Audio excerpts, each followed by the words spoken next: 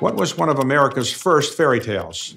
Fairy tales are children's stories set in magical places that teach us about the world. They often come from Europe, written by masters of the form like the Brothers Grimm. But in 1900, American author L. Frank Baum changed that forever with The Wonderful Wizard of Oz, the story of Dorothy, an outspoken, resourceful young girl from Kansas who is swept away by a tornado into the land of Oz, meeting witches and fantastical creatures on her journey. The Wonderful Wizard of Oz fused the classic fairy tale structure with American themes and ideals, including a sprinkling of feminism, which wasn't to everyone's taste. In the 1920s, Chicago's public libraries banned the book, citing Dorothy as an ungodly influence on young readers. Baum, of course, disagreed. Whatever your opinion, it's fair to say that then, as now, The Wonderful Wizard of Oz is one of the first truly American fairy tales.